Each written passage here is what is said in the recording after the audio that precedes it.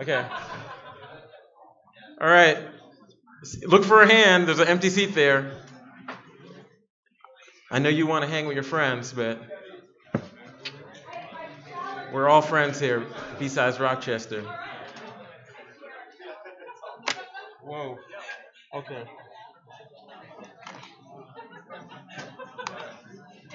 Whoa. Okay. I hope that works out, right? That's cool, right? Okay. Yeah, that's right. Oh, you don't have that anymore? I have no idea what that is. Oh. I can't see my slides, right? Here. That's okay. I'll just go like this. Oh, you can't see your. I can see. Oh no, I can see him here. I can see him here. Let's go like this. I'm gonna do Okay. quick announcements and then we'll. Yeah. You good? Yeah, yeah, yeah. Do your thing.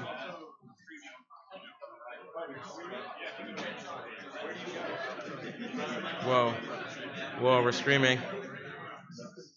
Uh.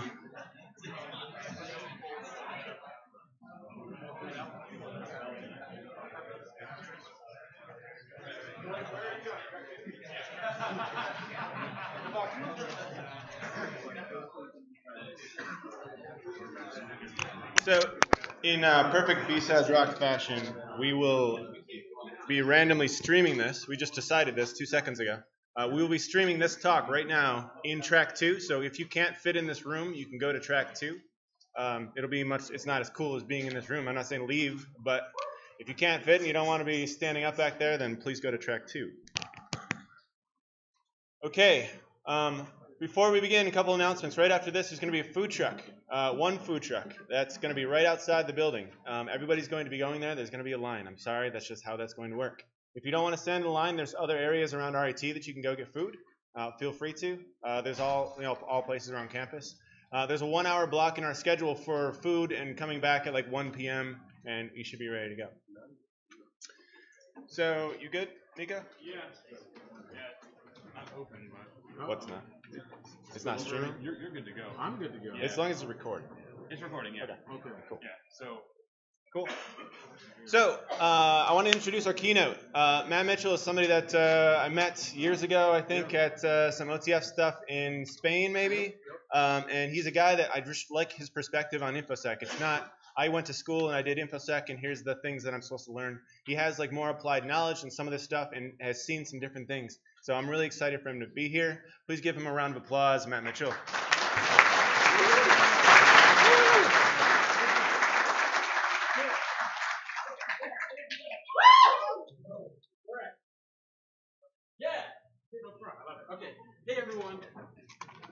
Thank you for being here, Rochester. Woo. Okay. All right. I was here in the morning announcements, and people were still waking up, but we had a whole bunch of amazing sessions. So I want you to like stretch out. This is a one-hour talk. I'm gonna try to squeeze it in so we can do some Q and A. Maybe. Does that sound cool? Yeah. Yeah. So I'm from uh, Harlem in New York City, and people are really vocal there. So I need you to, you know, a little bit louder. So does that sound great? Yeah. Okay. Okay. Yeah. Okay. Let's do it. Yeah. No worries. Oh, that's okay. Yeah. Do your thing. How's that? It's not- all right, whatever. it's okay. You can you can sit do whatever you gotta do. Okay, next slide. Um, well, okay, I'm Matt, and um, I'm known for this project that I do called Crypto Harlem, but I do a lot of other things, and we're going to jump into that as well. Uh, this is my Twitter. I'm I need followers. I'm still an egg. I still need some followers. So follow me on Twitter. That's my um, GPG key. If you want to send me an encrypted email, c- complain about this talk, no worries. I'm happy to happy to decrypt and read and encrypt and send it out to you. Um, and this talk will be posted via Twitter. It's Creative Commons, so you can catch it later, but just give me a minute, a couple days to get it up. Okay, so um, who am I? I'm a hacker, but I work uh, for the benefit of civil society, nonprofits, NGOs, dissidents, journalists, and human rights defenders. That's what I do. And that's all I do. I don't do it in my spare time. I don't do it nights and weekends. It's my full time job. When I meet young folks who are studying information security, studying cyber, studying application security, hacking, always at those events and always in those universities, I'll see people from uh, government sector, private security sector, but I don't normally see these groups represented. And there's a lucrative path there if you're interested. These groups need you just as well. We always talk about how there's tons of jobs in InfoSec and not enough people. But not all the jobs are in one place. And that's what my talk's about and some of uh, the applied kind of practical security knowledge that I've gotten from, from doing this work for many years. So uh, let's dive in. How's it sound? Right? Okay. That's what I'm talking about. I was like, all right. I heard about Rochester. I heard it'd be like that energy, right? So let's bring it, like Niagara Falls style. All right? Okay. Okay, so one of the things that I'm really passionate about is being an ally for marginalized groups, underrepresented groups. You know, um, when I was a kid, I was really into punk rock. I was really into Riot Grrrl. And there was this thing, like, where a band would come on stage and they'd be like girls to the front. And they were like, look, dudes, step back 20 paces. This isn't for you. And uh, I like that, you know, because this field of computer science was developed and, and worked on and pushed forward by women. And then all of a sudden, if you watch this, um, if you ever check out this Planet Money recording, it's a great little podcast, uh, all of a sudden the numbers just took a nosedive and they've, they've stayed really low. So um, if, if you're someone there in the, the audience who self identifies as a woman, this talk's for you. It's dedicated to you. If you're from an underrepresented group, you're a marginalized group, um, whether it's one that's like obvious, like you're a dude from Harlem, right? Or whether it's one that, you know, maybe you have a, a learning disability. Maybe you're on the spectrum. Maybe, you know, you're queer. Maybe it's not so visible. This talks for you too. All right? All right. Come on. How could you not put your hands together for that? Okay, let's go. Uh, I was walking through the hallways yesterday after this really amazing capture the flag uh, class. It was very high quality. I only took like an hour, but just stuck my head in. But anyone who got to go to that, you're going to be grabbing some flags and CTFs all over the place. So you're they, it was very, very good. Um, and I passed by the sign that said um, "Women in Computing" at RIT, and I uh, uh, sorry, and I stuck my head in, and I met this group there, Women in Computing, that has a mailing list of like 300 some odd people, and has an active membership of like 70 something people on a, on a really good day. And I thought it was really amazing that that's available here. So if you want to see these numbers change and you know want to see things better, uh, more people in this field, definitely represent and and raise up the work of this this club, this organization, this group, and definitely ask them if anything you can do. So I thought it was great, and I just wanted to have a piece of my slides uh, for something local. Okay. All right. So I'm the founder of this event called Crypto Harlem, and uh, Crypto Harlem is an event where I, in my neighborhood, talk to people about surveillance. We know that surveillance is not metered out evenly, and regardless on your viewpoints on it, some folks are more surveilled than other folks. It's just the way that it is. So if you're seen as a suspicious other, then you're going to face surveillance more in your existence and life than other people. And uh, in the inner city, there just happens to be a lot of folks who are going to be surveilled. So I thought, let me just do this three hour office hours. I was like, look, I'm a hacker. I don't know if anyone wants to go to this thing. And uh, over five years, it's grown to be quite successful. I have it at this little community center space uh, on the street there on Malcolm X Boulevard in Harlem, in Manhattan. Uh, it's a predominantly African American neighborhood. And, um, you know, the reception has been really huge. Uh, we've gotten a lot of, um, almost too huge, where there's, I've always decided that I want to keep it small. I've always decided that I wanted to make it part of the community. So some, I, we do it once a month, and sometimes I just turn people away. I'm just like, come back next month, we're full, right? Uh, or some people will just show up because they're working folks, and they'll show up and just grab 30 minutes of knowledge and then leave, and someone will take their seat. And uh, but is anyone interested to see what it might look like, the event itself? All right. Okay, thanks. Let's see how you. I'm going to check in 45 minutes into this talk. I want that energy to be out. Okay. Okay, so this should work, hopefully. Okay. Let's hit that. Mm, not. Is it working? Yeah. Is it working? Oh, wait. Can you hear it? Is there sound? Uh oh. Okay, hold on. Yeah, old school. Hold on.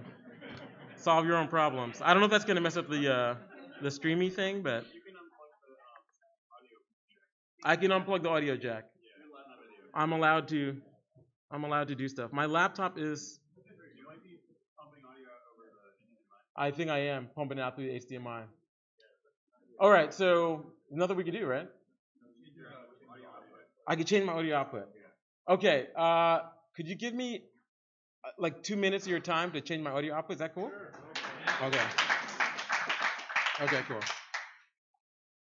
All right. Maybe. So if you uh, hop back onto your desktop, Mm-hmm. right click on your um, Thingy here. no, no, go to the um, you go you click on the taskbar, click on Yeah. the little arrow up, Yep.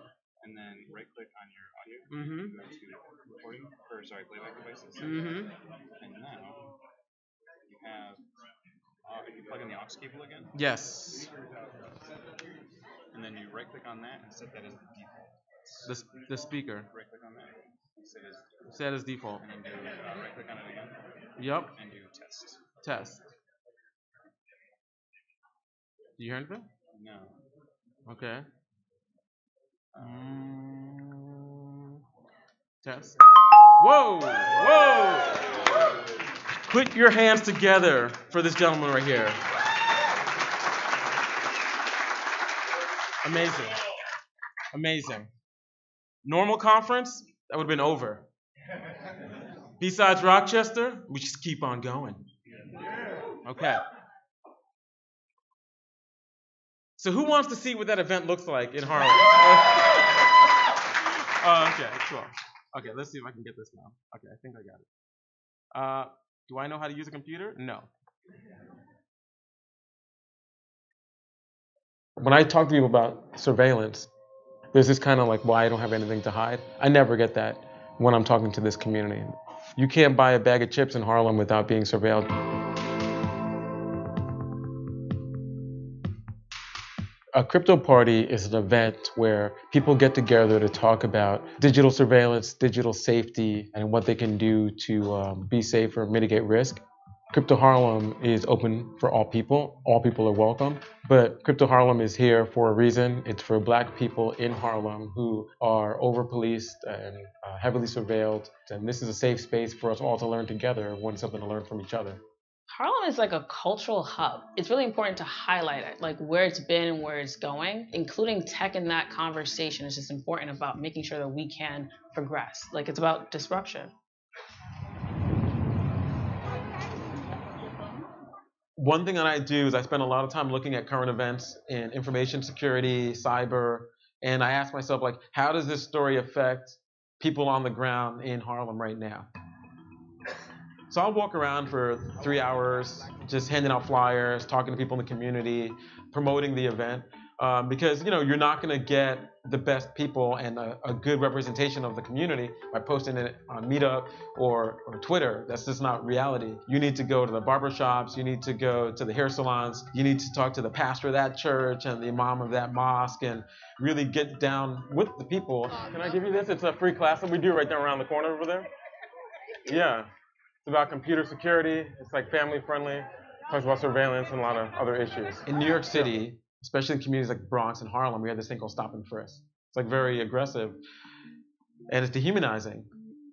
But there's a new practice, which is like the digital version of it, which is probably more dangerous. What we see with this kind of digital world of stop and frisk are young folks who are told by YouTube and Twitter and Facebook, be yourself, express yourself, tell us your stories and present them here. And those stories are being turned against them. If there is any criminal act or an act of violence by one person, and that person's associated with you or associated with your crew, you'll get taken down. A lot of people understand this idea of like six degrees of separation, but when you're a person of color, it's like two. These kind of stories, we need to pick them up, we need to raise them up, we need to address them and solve them ourselves because no one else will. If you can hear the sound of my voice, clap your hands three times. Okay, we're starting back. Black folks have been surveilled since the very beginning, since we landed here on slave ships, right? So um, you're a number. They're just like slave number 10, walked over here, walked over there, drank some water, did this. That situation has followed us, but hasn't changed that much. Technology will just make things harder to see. So what Matt does with these crypto parties is he'll bring he'll bring a different topic each time he comes in. It's about exposing them to a lot of pe- different pieces of information, but it's also about equipping you with that knowledge and then moving forward on your own. When we have these surveillance talks, I tend to see morality going down. And I would like to see morality going up. So if we can share more tools that organizers should be using today, even if you can name one or two, I would love to know. I think he does a really good job of then trying to encourage you to take control of whether it's your privacy or it's learning about blockchain or it's learning about Bitcoin. Like he really tries to empower people. Shut up, time, yo. Thank you. Okay. What about at a, a protest? So New York City was like, we're going to try to set up the rules where we'll turn off the cameras at a protest, so you're not being, you know, shown like, okay, I'm this person, I'm against this thing. But the cameras are moving faster than the regulations are because law doesn't move that quickly. I think that it's for us as citizens to get a little more involved in these policies and issues so we can help steer them. People are hungry for this, and there's so many community leaders who are already here and coming into a room like this just kind of gives you an affirmation like yes we're on the right path i'm a hacker but i'm black first and when you see me a block away, you know I'm black. You don't know I'm a hacker. One thing that I hope to get out of this event is creating more black hackers, creating more black people in cyber, creating more black people in InfoSec because it's a space where there are more positions than people. So I want to see more of myself in the in the work that I, I work in. People say this is the next frontier of civil rights, and it's a statement that I agree with.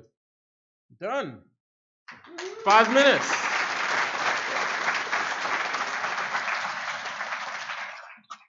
Okay. Hmm. okay. I was on Mr. Robot. I didn't even know. I was watching Mr. Robot the last season, and then Elliot picks up his phone, and it's it's supposed to like in that show. It's quite a few years ago, so it's an old version of Signal where it had this little confirmation. And look at the words there, Crypto Harlem. That's my event. Whoa. And then there was a then there was a scene where Elliot like runs into a data center, right? And he's like him and Mr. Robot are like fighting it out. He's losing consciousness constantly. And he sits down at a terminal and it says contact Matt Mitchell. That's me. Whoa. How weird is that? Free advertising. Free advertising. Yeah. Too bad I don't make any money out of this, but yeah, I know. It's okay. It's cool. I, I do it for I do it for the people. I do it for the lulz. Okay. So um, another thing that I do though, because you know, doing a community event is great, but it doesn't buy you gold boots. So I'm wearing gold boots. You can't tell. Um, so what I do is I work as uh, independent operational and information security trainer for a group called GJS Security. I'm a subcontractor. I work for a lot of different groups, but most of my time is spent with these folks. And uh, they're a hostile environment emergency first aid training uh, group that's called HEFAT. And uh, the way that they do their hostile environment training is one that simulates a real world environment. And I think that's really important. And I'll, I'll loop back to this again. But when we're working with journalists who are about to go to uh, a conflict zone like Syria, or they're about to go to where there's um, a hurricane, like Hurricane Maria, and going to Puerto Rico, they need to be certified in how to be okay so they can tell the story. And the news organization that they work with sends them to these HEFAT trainings by groups like GJS. And uh, the way that GJS does it is when you show up at the farm, that's one of their facilities, it looks like what you're about to experience. Because you need to know what you're going to do when you hear that gunshot sound. You need to know what you're going to do when the wind and the rain are blowing at you and you're freezing cold. And you don't really know because it's hardwired. You got to bring yourself there in a comfortable way because you don't want to find out when it's the most important time that you freeze. You don't want to find out the most important time that, that you run or that you're going to just lock up and wet your pants. You want to know in a safe environment when we're going to be there. Um, and then we can take you from where you are to what will get you through. And I do the digital side of this. So it's one thing to tell someone you should encrypt your email because this thing could happen, some anecdotal story. you should use Signal because this could happen. Something right? It's another thing when you're actually seeing it happen, and it takes someone with a certain skill set to make that simulation ring true. And that's what I do. I'm going to talk more about the difference between what we learn in our courses, in our training, in our university setting, and the reality on the ground. Okay, cool. Another thing I do is um, I do digital safety and security coaching for a group called the Movement for Black Lives, which is an umbrella group of like 60 organizations. Some of them are very well known, like Black Lives Matter. Some of them are not that well known, like Black Youth Project 100. Um, and for them, they're organizers who are working inside the United States. And for a lot of the people who are organizing, whether you're in a labor movement or a feminist movement or civil rights, racial justice movement, strangely enough, your adversary, we talk about threat models, are things like, you know, your FBI or Department of Homeland Security or things like that. You know, if you're if you're working with um, sex workers, right, if, uh, against this FOSTA um, um, Act, right? If you're working with, right? Nobody? Okay, never mind. Look it up. EFF, look it up. Okay. Um, if you're working with undocumented folks, right? If you're working with anyone who's marginalized, their adversaries are going to touch upon things that aren't normally adversaries to you. And it's very sophisticated. And to properly be able to defend folks, you've got to completely change the way that you work and up your game. Okay. So who is this person that you're listening to? Uh, I was a 2016 2017 Mozilla Ford Open Web Fellow. Uh, Mozilla had this program with Ford Foundation, which is a big civil society funding group. You might have watched the documentary and it's paid for by Ford Foundation. And that money came from uh, Henry Ford, who made like the first car, American car, his brother, right? Um, they paid for me to work with a group called Color of Change, which is a modern civil rights organization, and I did organizational security for them because an organization cannot install Signal. It does not have hands, right? So how do you secure an organization? How do you do that? How do you get them to a place where um, they are looking at a different type of positioning and footing for the threats that come in every day? That's something that I tackled and I created a, a framework out of. Um, I was a 2016 2017 Internet Freedom Festival Fellow, and uh, IFF is an amazing uh, conference that's free to attend that happens in Valencia, Spain every year. And it's a the I think like this past IFF just a couple of months ago, or maybe it was even one month ago. Whoa, um, the past IFF was represented by 60, almost like 65% global South. So that's people from India, Africa, the developing world. People in countries that are growing so quickly with leadership that's a little bit unsure of technology, making rules and laws that we could never imagine happening here. In a place where maybe uh, you know, you can have a GPG, but you have to give your passphrase to law enforcement or security forces if they ask for it. That is the law on the books, right? Or where encryption itself is illegal, but you can still shop on Amazon. Some reason they let that SSL encryption happen, but they won't let you encrypt a USB drive.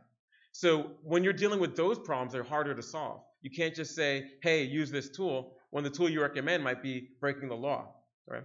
So it's important to go to events like this for me to talk to real people who are doing really basic things on the ground, just trying to uh, like fight against CCTV cameras or uh, strange changes in laws and fake news and things like this. I was a 2016 to 2017 New America Cybersecurity Initiative Fellow. And New America is a DC based think tank, and they think about what the future will look like, and they're very invested in cyber. I always can tell what kind of hacker or what kind of information security or what kind of tech person you are when you do the work that we all do, that we all study, that we're passionate about, by how you even refer to it. If you say cyber, then I get it. I know where you're coming from, right? And uh, it was great. I really enjoyed this because in my fellowship, I got to meet people who, um, you know, wear military outfits with like, you know, pins and stars on them, and that's their interaction with cyber, right? Uh, that's their interaction with this work and I got to talk to them from like, hey, what about this vantage point? And we kind of learned together. Whoa, hold on. Don't worry. Don't worry. Don't worry. Don't worry. Okay. So um, I am. Uh, I was a 2017 Institute for the Future Future of Good Fellow. Let's see if we can keep this alive. And um, that is a, another think tank that's based in Palo Alto, which is like Silicon Valley.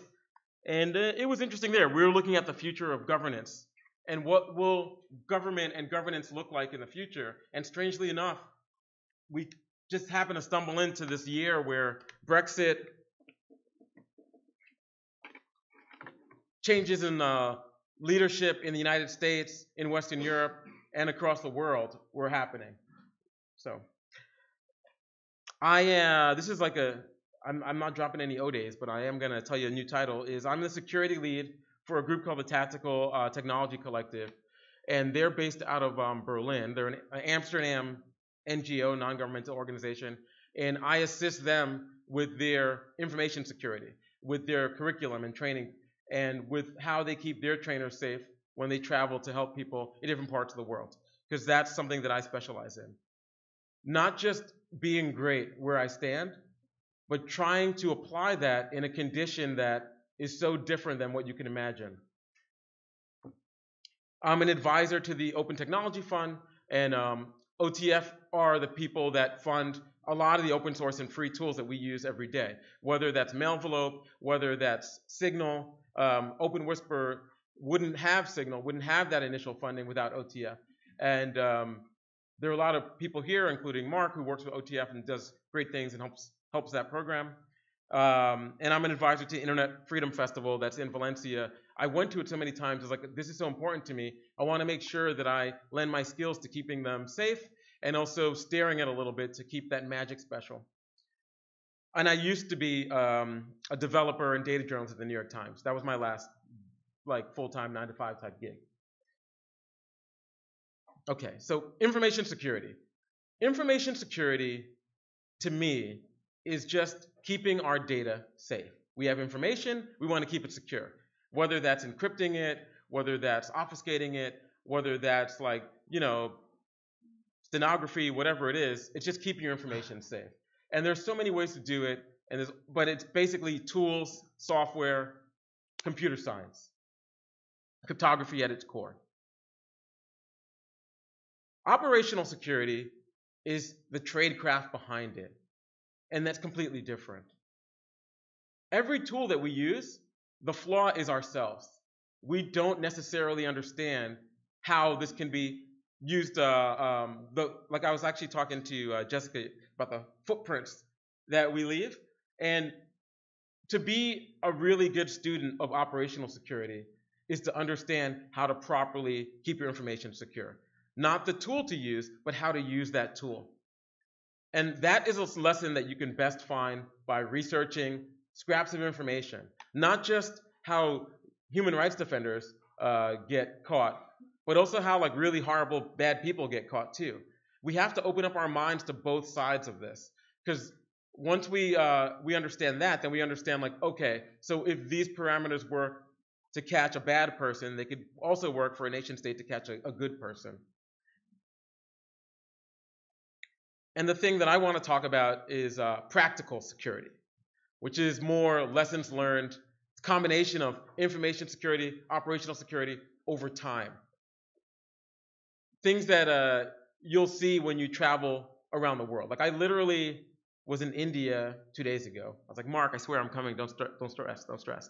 Um, and uh, on Friday, I'm flying out to Berlin. Things are so different from the internet connection to the price you pay for data to people's relationship to technology and their thoughts on it, right? In Europe, they have this thing called GDPR, where everyone is like, hey, that's my data. You can't hold on to my data. You got to delete that information. If you use your VPN for VPN users and you put it to any European countries, you'll see all these messages like, hey, we use cookies. We're sorry we use cookies. Is that okay with you? You know, like, uh, it's a totally different situation. If you go to a, a, a dating mine, a data mining website like Spokeo or Pipl, and you type in a European friend's information, there's a lot less there than what's on us, right? Cool. Um, I'm going to talk about the four types of hackers I'm trying to make a lot of space so we can do a Q&A. Do people have questions though? Anyone? No. No questions? Nobody. Okay. Maybe no Q&A. Um, there are more than four types of hacker. It's a complete generalization. I mean, what is a hacker anyway? Right? I mean, does a hacker have to wear a black hoodie? No. You can wear a gold jacket. You do whatever you want, you know? um, I think a hacker is someone who's always curious, who's wondering, yeah, but how exactly does that work? Let me make sure. Let me take it apart. And maybe I can't put it back together, but I learned something. Right? There were always hackers like there was always technology. Technology was the wheel. Technology was fire. And we come from a tradition of people who had questions about fire and they had burnt fingertips, right?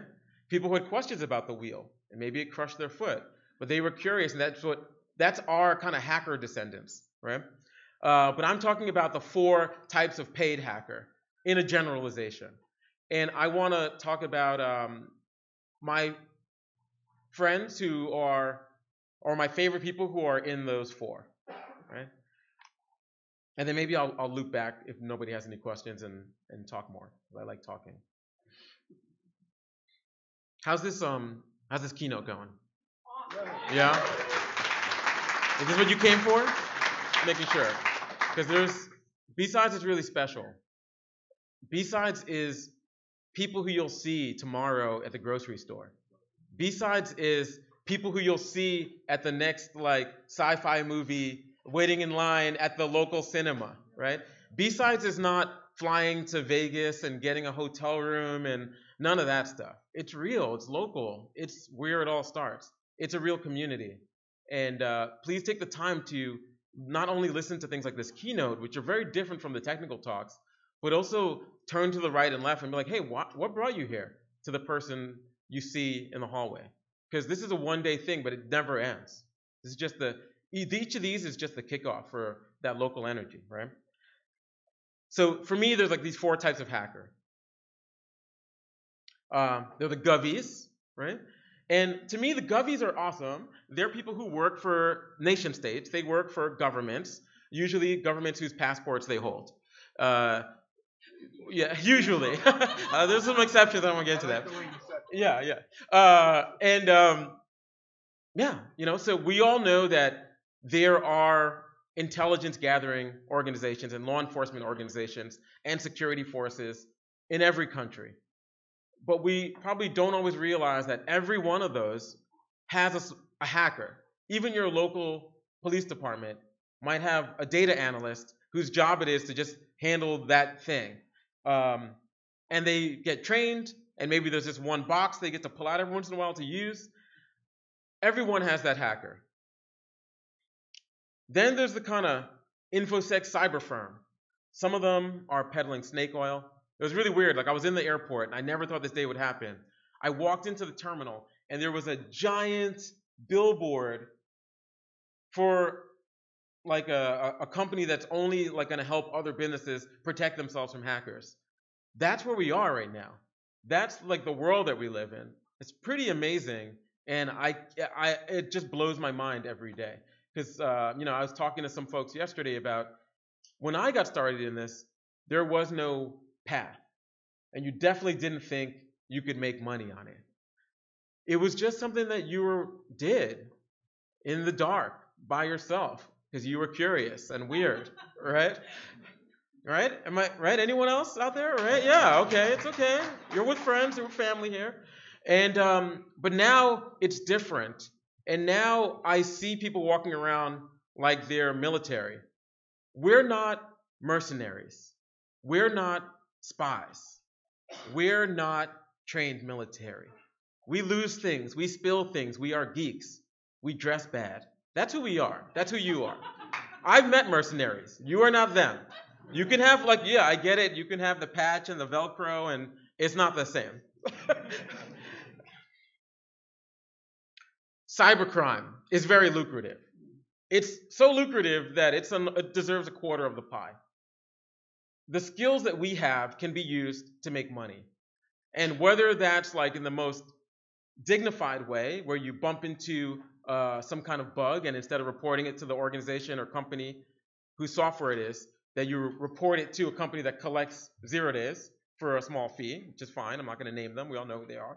Um, or whether you're on the hacker black market, working in escrow, not knowing who you're working for, giving a little bit of what you found, and getting a little bit of pay until both parties put a thumbs up. You know, um, the, the amount of money though is either so low that it's like, well, why do I would I do this? It's kind of murky morality, or so high you're like, I hope they never find out who I am. I might not be able to spend this, right? Um, there's hacktivists, people who nights and weekends they fight for a cause. They believe in something. Everyone sitting here believes in something. You want to push that forward. What if you used your tech skills to just give it a gentle push? Maybe you're not the most nuanced political scientist in the world. Hey, you know, maybe you see the world as this way or that way, one and zero. But at least you're doing something. And then there's the bucket that I belong in, which is a public interest civil society hacker. And I feel like that's a group that doesn't get enough attention. That's a group that a lot of people don't realize. Like, how do I get involved there? How do I get funding there? How do I get paid there? What's that look like? Right? Um, it's not all like ACLU is only so many positions. EFF is mostly lawyers, right? I mean, Cooper is awesome. Eva are awesome. Like there's there's hackers under the hood, yeah.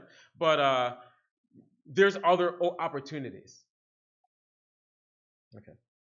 Uh, so one opportunity, this is not like a paid opportunity yet, but it's a new thing that just started.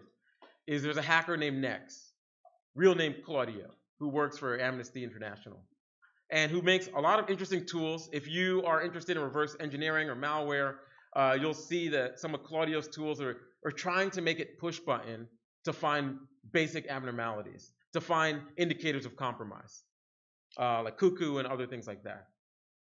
So at a um, Chaos Computer Club, I think it was two years ago, uh, I feel like I hear music. Okay, but it's cool. At Chaos Computer Club, um, Nex decided to launch this thing, Security Without Borders, because there's Doctors Without Borders and there's Reporters Without Borders, but there's not really this idea of security without borders. When we read about a hack that's uh, affecting people, for example, just recently, there was this um, discovery by a group called Citizen Lab out of University of Toronto that citizens of Ethiopia were being surveilled, but not in Ethiopia. They live in New York, they live in London, they're being surveilled by their country where they sat, which is very strange and should never happen. But when these things happen and we read about these reports, it doesn't mean that the affected communities are getting the aid that they need because there aren't enough of us to do that. The ratio would be like drinking out of a fire hose. Security Without Borders is an attempt to say no matter what your level of skill, we're going to get you in a position where you can donate a few hours or a few days or a few weeks and assist a community in need. And I think it's really admirable and it's a really nice one, so please look into it. This is Emily. Uh, Emily was really awesome, and actually at my last Crypto Harlem event, Emily spoke to the people, which is great. And Emily's a former um, NSA hacker, I'm gonna say, right? And um, but Emily was like, I, I'm concerned about this like growing aggression, right? Uh, intolerance and hate groups. And so um, Emily created a thing called Nemesis, which was the first of like maybe I should learn how to do this. I don't know anything about object recognition. I don't know anything about uh, teaching a computer machine learning and having it be able to identify objects. And um, I decided not to put up a picture of Nemesis identifying uh, a symbol of hate. I decided I'll just put a picture of Donald Trump because it, and it's identified as a plate of lasagna, 91%. it's just probably like an early test. It's it's amazingly accurate. It's so accurate that you can run this tool Nemesis. that is not a plate of lasagna. Uh, you can you could run this tool Nemesis on a video, and if you run it on a video, it'll show you everywhere there's a symbol of hate, even hiding in that video. uh, which I think is an amazing project. So, you know, I one thing that I think is awesome out of the many awesome things about Emily is even though Emily came from the intelligence community, Emily was like, look, I identify with certain movements, certain causes, I have solidarity, and I have a certain passion. I'm a human being, and I'm going to spend some time just attempting to do something that Facebook doesn't do, that Twitter doesn't do, and she did it. Like one human being created a tool that would allow you to just block every troll and every horrible person on the internet, and you wonder why social media companies haven't built something like this, especially now because it's open source and on the web, and you can look at it. So if you're interested in this, definitely check out the code base, okay? Uh, Andre is um, a former FBI agent. He also spoke at Crypto Harlem. I like to try to make sure the Govies get a voice there, because honestly, uh, you know, at the speakers dinner yesterday, sorry we didn't invite you. There wasn't that much food. um, at the speakers dinner yesterday, we talked about how in the media and, and on TV, hackers are one of these four things and we're fighting against each other. But in reality, we're like 80% the same. Like we listen to the same silly music, we will like the same silly TV and movies, and the other like 20% we don't talk about, right? So, and um, and Andre spoke about the FBI before there was a, a division that was set up just for hacking and for finding bad hackers or people who were, you know, law enforcement were going after. And Andre um, now works in the private security world. Another example of someone who started in intelligence community and now works in private security. And if you're a fan of Mr. Robot, Andre is the person that makes sure all the FBI stuff is legit. Because we all know the hacking's legit, because we understand some of that. But maybe you don't know, because you're not an FBI agent, that the FBI stuff is legit. And they even have a character that's fake Andre, who's this character you might have seen in the in the last season. Yeah, as a kind of like, hey, haha, you know. Uh, I think his, his name is Andre too. It kind of looks like Andre in there. Um, okay, and moving on. But again, Govy person moving to commercial is a path that you see all the time. But you don't have to start as the Govy person to get there. In fact, a lot of times people will think, you know what, I should have just went commercial. I just didn't realize that's a path. Uh, if you self identify as a woman, there is one of the best reverse engineering malware courses available in the world, and it's free. All you have to do is get to it. And it's called Black Hoodies. And um, Black Hoodie underscore RE is uh, Black Hoodie reverse engineering. And Black Hoodie was the idea of Marion, who is a malware hunter. And Marion, also known as pinkflawd on uh, Twitter, was like, I want to see more people who look like me in these rooms when I'm taking trainings. I want to see more people who look like me in these meetings when I'm working on malware. Why aren't there those people? And people would say, well, women aren't interested in this, and there are no women. And so Marion thought, well, I'm a woman, so that can't be true. Let me just try to do this thing where I say, hey, I'm going to be in this room, and if anybody wants to come, we'll do three days of intensive classes after email correspondence training. And tons of people showed up, and tons of people graduated. And it happens every single year.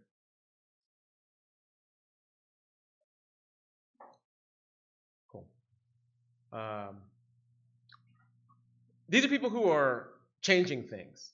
They're using some of their work experience and some of their identity and who they are to push things forward. Uh, Harlo Holmes works for Freedom of the Press um, Foundation. Freedom of the Press uh, is an organization that works with news organizations, reporters, and journalists. And Edward Snowden has a position at Freedom of the Press Foundation. Eva works as the director of cybersecurity at EFF. Every day, when a reporter needs a training on just how to do simple things like GPG or difficult things like source management, right?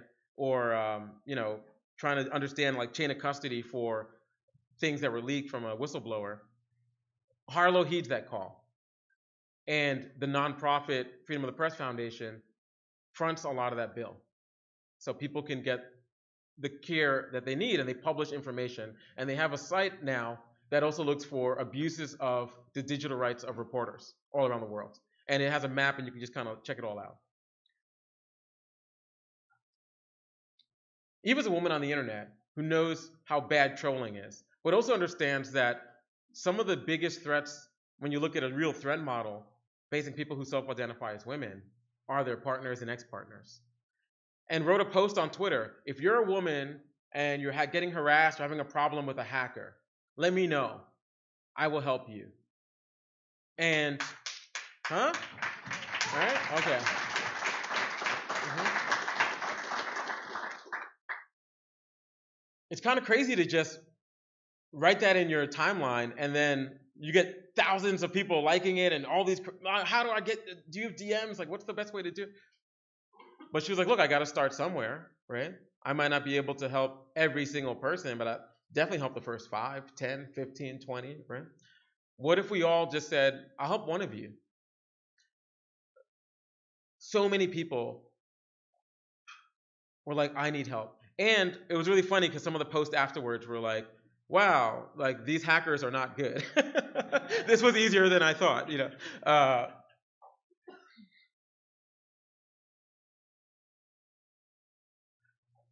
Runa is a friend of mine who used to work for organizations like GJS, um, who took hostile environment training, understands physical security the way I do, which is like from sitting waiting for my turn to do my digital side right? But now works in a new position that's going to be in every newsroom in the world. And that's leading digital security and information security for a news organization. In her case, it's the New York Times. If you care about news and fake news, you care about media and how the stories are told, they need you. There's an application security position open right now at the New York Times. You can go from studying here or attending B-sides to working there. Micah works for a smaller news organization called The Intercept. They're like a website only. Right? Cool. I was hanging out with Micah the other day. He was smiling, he's hanging, you know, throwing back a drink, giving me a high five. It's like you'd think he has no worries in the world, but he's the person that defends the Snowden archive, regardless of how you feel about the fact that those documents exist. He's the person who decides what gets locked down and how. So when they slowly release them, it's not um, spilled all over the place, right? And so the list of adversaries and people who are interested in seeing those documents before they get published is, as you can imagine, rather high. But these are the challenges that are really exciting because there's no path easily laid down. You're not sitting there at work following a checklist that was made from uh, a consulting firm. You know, a lot of times a group will hire you not for your intellect and skill, but because you can never get this checklist wrong. That can get pretty boring after a while. Imagine playing a game that there are no rules and there's no clear path forward.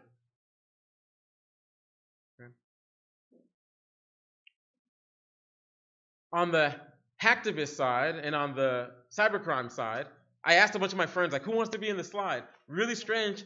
Everybody stepped away. They were like, no, no, no, no, no, no, no. um, so I, I had to I had to go with people who, you know, have already had their moment, right?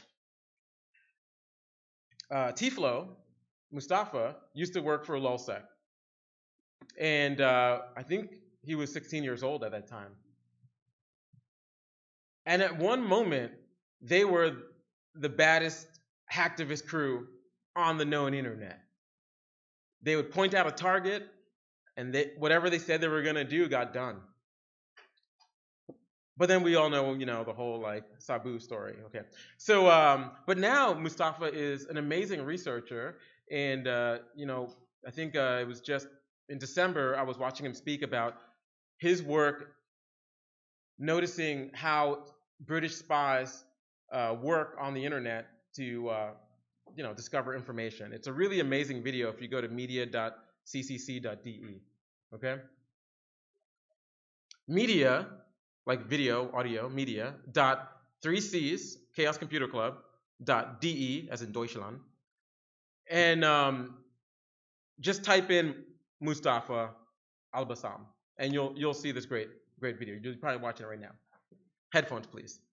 Um, John Threat, aka Corrupt. You know, one thing you'll notice is when you when you're done with your hacktivist career, which usually doesn't end well, or you're done with your cybercrime career, uh, like you know, Secret Service was like, corrupt. Please stop jumping into phone calls and phone lines. And uh, he was like, mm, maybe, right? So then they were like, one year in federal prison. But uh, after that, uh, he became John Threat, the filmmaker, um, and uh, also someone who I, was a hero of mine when I was a kid. You know, I, I picked up this Wired magazine, and there was a guy who looked like me on the cover, and I never seen anything like that before. And I found out that he was doing exactly what I was doing, but to this like really insane high level, high stakes. And uh, John is someone who's still very passionate about this work, but now on the legal side, or you know, not so illegal side. Uh, Sarah Jamie Lewis wrote a book, Queer Privacy. Sarah used to work for GCHQ, which is kind of like the NSA in, in England, right? Um, but now works on things that Sarah's really passionate about, which are um, how threats are different for different people, how the queer community has issues with um, privacy and how that uh, um, spills into the digital side of things. When your very identity is a thing that is most um, under threat, the digital side of that is quite important. Also, Sarah does work on um, securing modern toys that have intelligence and Bluetooth and all kinds of crazy things for parents, and also personal pleasure devices, which are now getting really high tech, but with very, very bad application and digital security. But you probably don't want that thing near your body. So um, just because, like, it's weird because um, this is something that like was like, well, I use these things. I want to look into it. I have curiosity, and I'm gonna write papers and blog posts to make a difference it touches my identity, it touches my community, and I'm going to make a difference. And from that, you're going to get calls, you're going to find consulting work, you're going to have articles written about you. That's a path that you can take.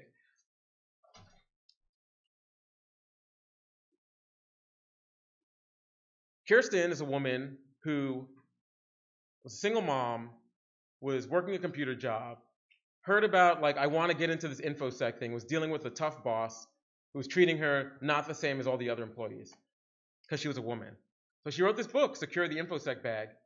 Um, now is doing great, uh, works on in industrial control systems and sec- securing them in one of the states in this country. Um, and um, this book is new, and it's kind of like there's no path.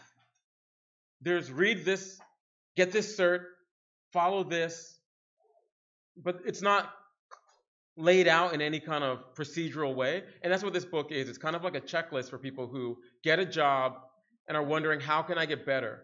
They get a job and they wonder, how can I succeed? And uh, her goal is to make that all the bug bounties on HackerOne are claimed by women. I think it's an admirable goal.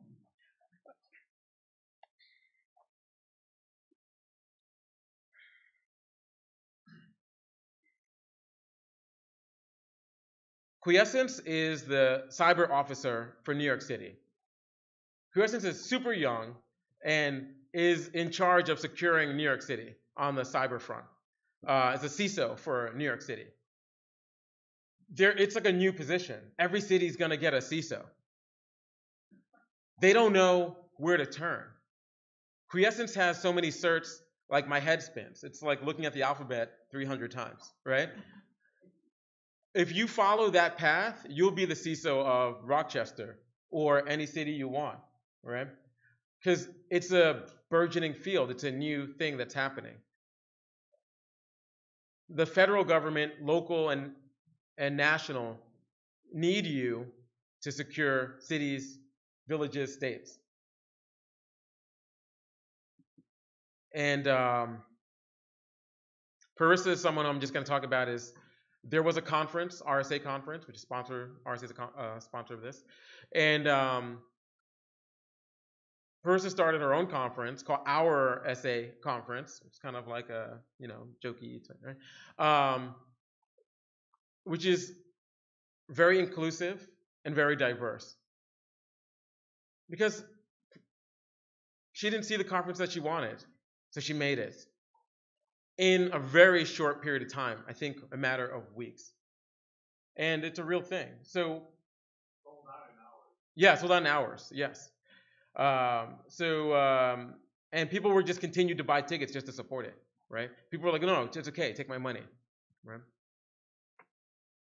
We have that power because our community looks like so many different shapes and sizes, but cares about the same thing.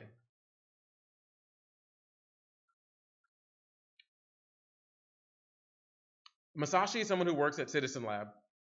Citizen Lab is um, something that's out of the University of Toronto and is new, but I know that there are things like it happening in Berkeley now, and more tech hubs are developing these kind of centers of um, kind of like cyber excellence. At Citizen Lab, they track how nation states use malware and surveillance against citizens. One quick story in Mexico, a place where I've done trainings and work with folks. There were a bunch of activists who were getting the same strange text message. Click on this link. Sometimes it would say things like, your daughter was in a car accident, this is a link to the hospital, things like that, right? And most, uh, there's a group called Access Now that many in the audience might not be familiar with, but they have a helpline, which is an encrypted email line.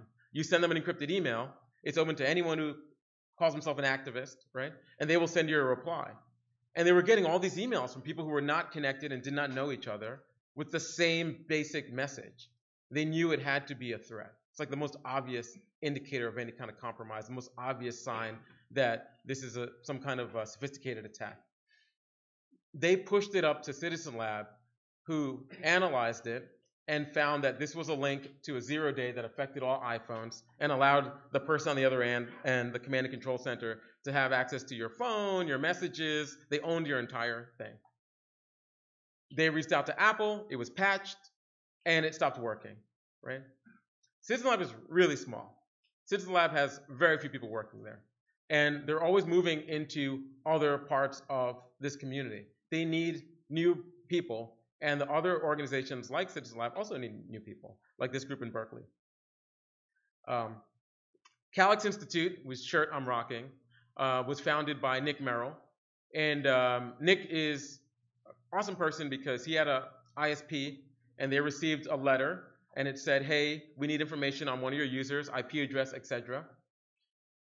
He'd never seen anything like it before. He gave it to his lawyer, said, don't tell anyone that you got this thing.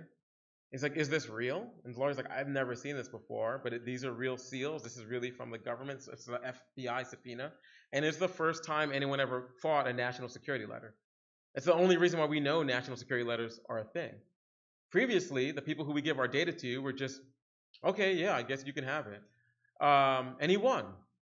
And Calyx is like a very, very small operation.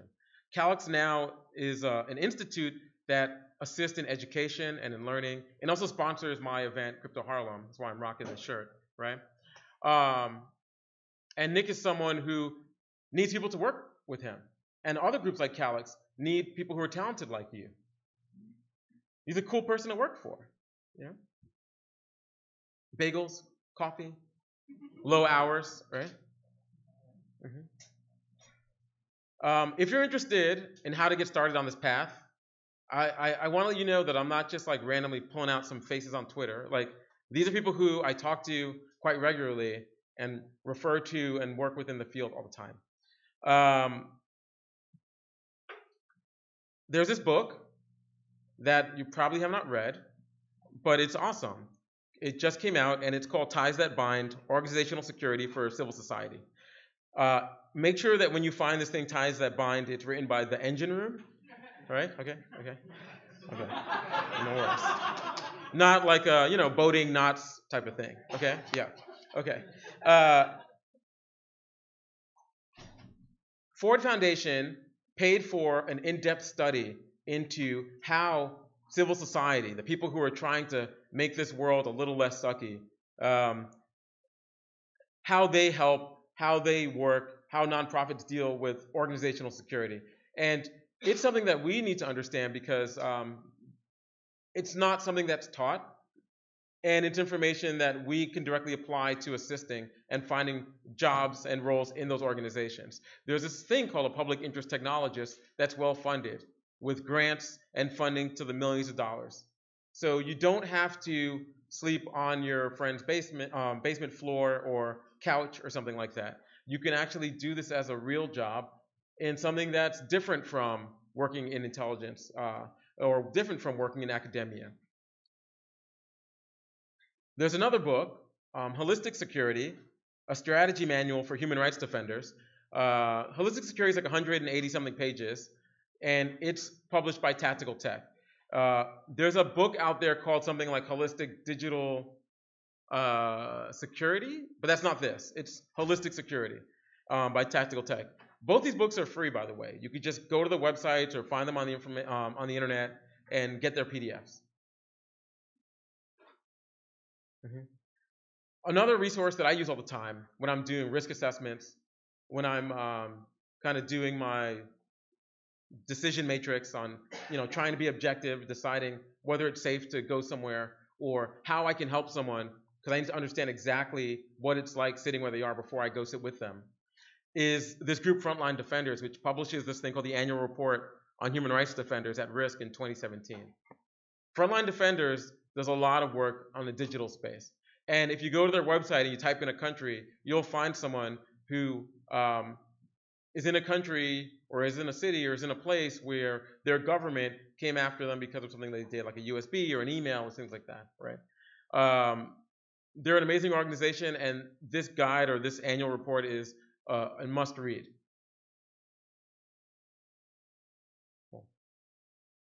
Uh, let's see how much time I have. I'm over time, I think, right? Yeah. Okay. Okay. Five minutes. Okay. So um, I was going to talk about some of my experiences in the field. So let's do this really quick. Uh, in my five minutes, would you rather a Q and A type thing? You could clap Q and A. You could vote twice. Anybody? No. Q and A. Nobody. One person. One question. Okay. I'll talk to you afterwards. Yeah. And thank you for asking a question. I'll find something to give you. Maybe this jacket. Uh, all right. So I asked some people I work with uh, because I work in private commercial security. Um, it's different from some of these great nonprofits like Freedom of the Press Foundation. Uh, our clients prefer um, discretion, right? Whether I can get in depth about some stories. So I decided, like we talked about, and this is the version of the story I'm going to tell, right? Um, I was in a country, and the people there were getting hacked constantly. Their phones were getting hacked, um, their emails were getting hacked, and it ends up that in that country, everyone uses Yahoo as their email provider. What you'll find when you travel, right, is uh, the world is so different by just moving a few miles or kilometers in a different direction. Some countries, everyone uses Viber. They're like, WhatsApp, what's that, right? Some countries, everyone uses Yahoo emails, right? You can't tell them, don't use Yahoo emails. it doesn't work that way, right? Your job is to find a way to make this safe. Your job is to meet them where they are and make that moment something that changes the whole trajectory of their movement, of their reporting, of whatever they're doing. I got them off of using, um, uh, I got them onto using 2FA, right? And I was explaining how it works. You put your number in, and then you'll get a text, and then you put this code in. But in the field to put in your text, your number in, in Yahoo, when you put this country in, it doesn't let you put the right number of digits in. Whoever programmed that field didn't realize like they have a different number and it doesn't work. Uh, I had to like go in, inspect it, look at the request that came through, and just push in uh, a number and it, it, took it. So, you know, uh, that's not something that they could do tomorrow, right? That's not something they could do next week to protect themselves. So when I find things like this, you know, I'm just like, hey, you know, you need to fix this. This isn't good. You know, uh, and person always says, well, what do you mean it's not good? And I'm like, well, this doesn't work for this particular country. You look it up the number, and it's a really weird conversation you're going to have. It's kind of like if you've ever had to, um, if you ever found a bug and you were trying to like disclose it responsibly. It's like first there's like these different phases, like they're like really defensive, and then they're confused, and then they're like really suspicious, and then you get them to come around, and they, they still don't fix it. Um, but eventually you get it done. And when you get this done, it feels great because you know that you're not just helping the people in that room, you're helping anyone from that country. Uh, when you get this done, it's not like you found a flag in a CTF, which is super exciting. You know that feeling? But you're like, wow, like I'm helping someone live. I'm helping someone um, be free. I'm helping someone maybe avoid being detained or, or tortured. Right? Uh, I was working in an African country where they were not very evolved on gay rights. They're not very evolved on the rights of queer folks, gender nonconforming folks, right? And um, I had to work with a room of people from different countries, right? Africa is not, it's a continent, it's not one country.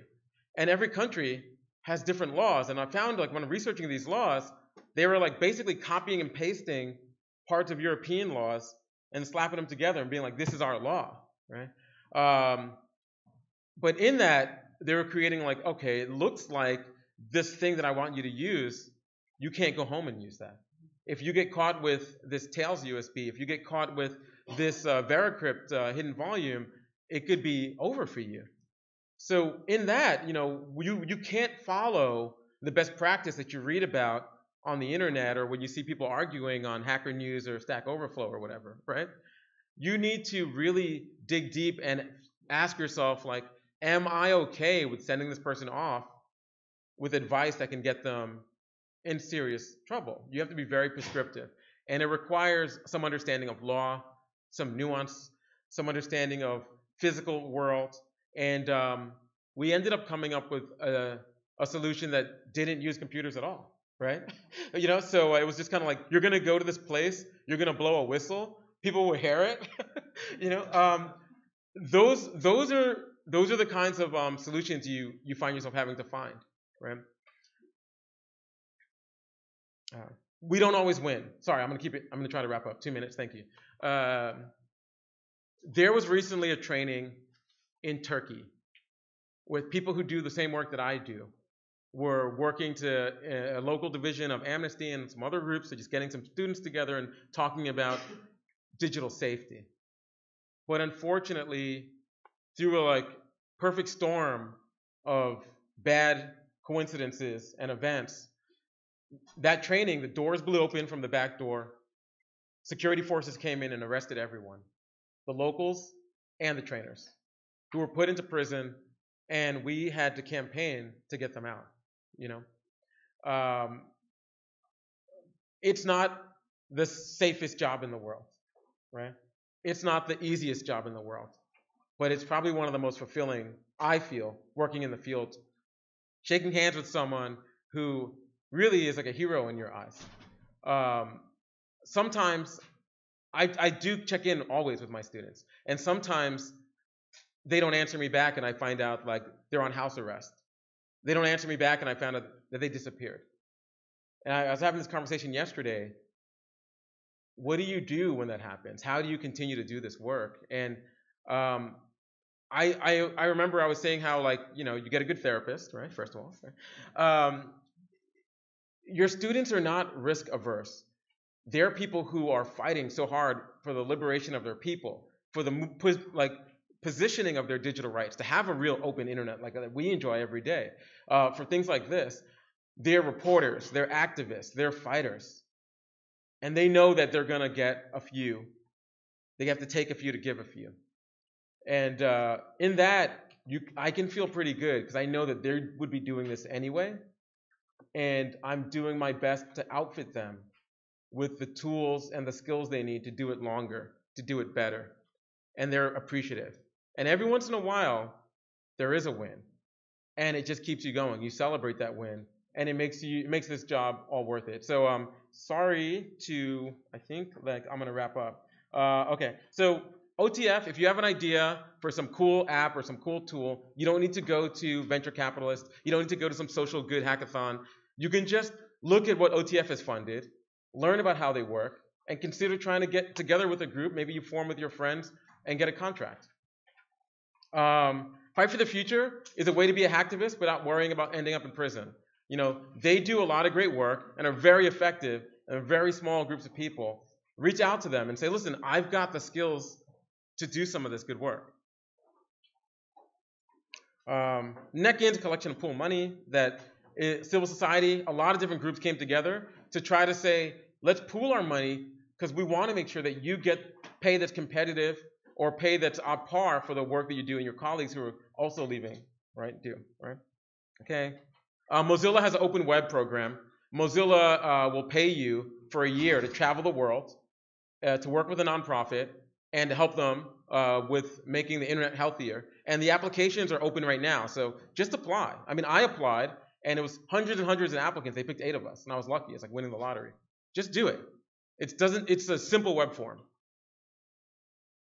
Uh, New America Cybersecurity Initiative. If you're a pro out there, you don't. Not all the stuff is like entry level, but if you're a pro out there, think about getting a small fellowship with New America, writing a paper, having them support your work, and attending their conferences.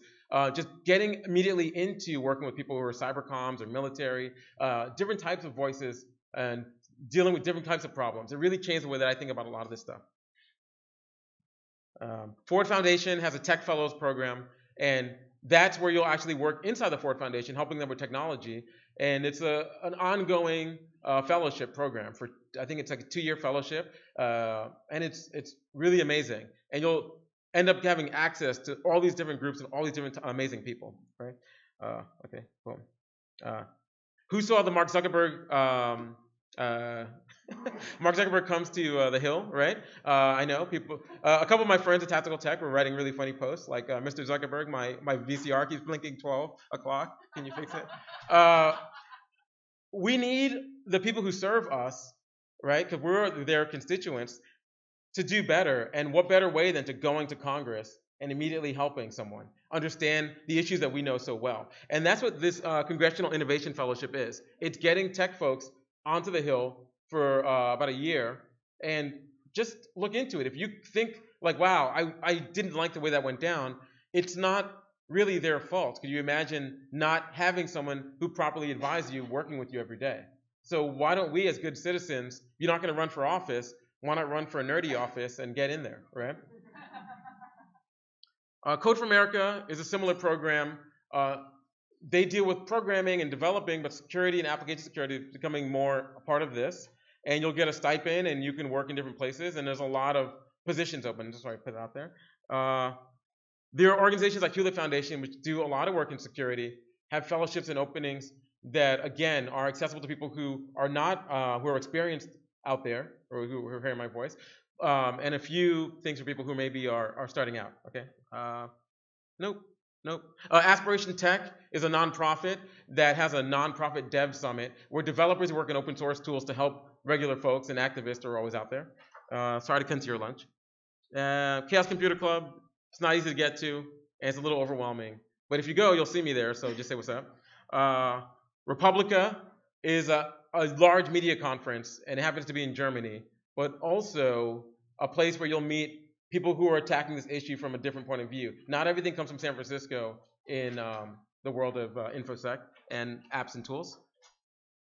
RightsCon is coming up. It's in Toronto. It's a place where activists and policymakers get together to try to come up with uh, digital rights and security issues. And all these things have job boards, by the way. Oslo Freedom Forum is something from the um, Human Rights Foundation who I work with. And you'll, you know, when you go to the forum, it's kind of like a TED talk, but for activists and dissidents. Uh, I met someone who was like poisoned several times by the FSB, which is like Russian security forces. Uh, I met someone who is an opposition leader who was like, I know the people surveilling me. They, I bring them tea in the morning. They sit outside in the car, right? Uh, you'll get to meet great, amazing people like this, but you also get to help them and talk to them about uh, InfoSec. So um, I know that this is something that's they have like a little kind of genius bar, tech bar every year, and it's really in, they need more people there to, to help these folks. It's really amazing. Okay. Um, Allied Media Conference is an American conference for American activists, and it's their 20th anniversary, and it's in Detroit every year. So you can think about, you know, just going there. It's really, really young. Um, it's it's really, really exciting. Um, and tech and, and hackers and infosec folks are always needed by these growing movements in our own country. ThoughtWorks is a commercial company that tends to be kind of progressive and allow people to do passion projects. Uh, and okay, that's it. Sorry, that's the Earth. Do a good job, protect it. That's my slides. Sorry about that. Okay. Please eat some food. The food truck line is not for the meek. Sorry, I ran over, man. I hope that was hope that was a good one. Nice Yeah. job. No, fantastic. Oh, this is a, like official speaker badge. Whoa. Whoa, I made it.